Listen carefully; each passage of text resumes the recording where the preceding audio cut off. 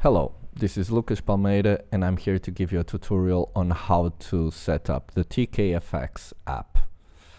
So after you've downloaded and installed TKFX, you should come to the setup page of the TKFX help and download the Loop MIDI software and the uBridge. Loop MIDI is a software used to create a virtual MIDI port on the Windows systems. This is only needed on Windows systems because Windows by default cannot create virtual MIDI ports. So once you have downloaded and installed Loop MIDI, you have you should have the icon on the system tray which you can open to configure and create a virtual MIDI port. After you've done that, you should download the uBridge and after downloading the uBridge and installing it, you should go to the TKFX tab and select uBridge Virtual, which are the ports that we created before on Loop MIDI.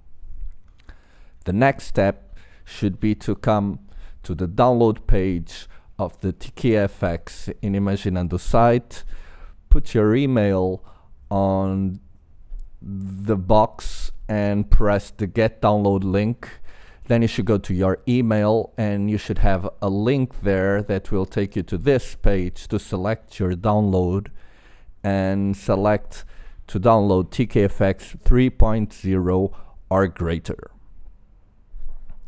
Next, we come to Traktor and we open the Traktor preferences. We go to controller manager and we select import.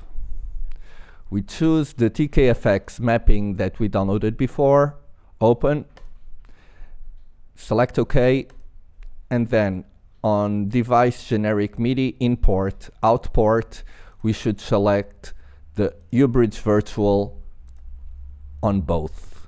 We close it, and now we should be able to open the app. Here I have uh, a window with the streaming of the mobile device that I'm using right now. And on the mobile device we're using, we click on the menu here. We go to connection. And here we have both connections that I have available right now. One of them, like the symbol indicates, is a Wi-Fi connection and the other one is a USB wired connection which I'm going to choose now.